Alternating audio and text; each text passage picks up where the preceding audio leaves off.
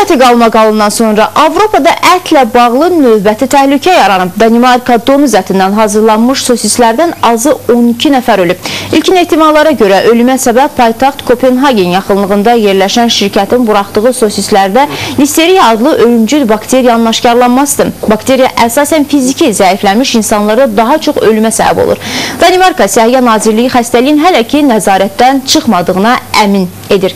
Səhiyyə rəsmləri zərərli bakteriyanın yer atdığı ət məhsullarının məktəblərə, restoranlara satıldığını və ya xarici dövlətlərə ixrac olunduğunu müəyyənləşdirməyə çalışır.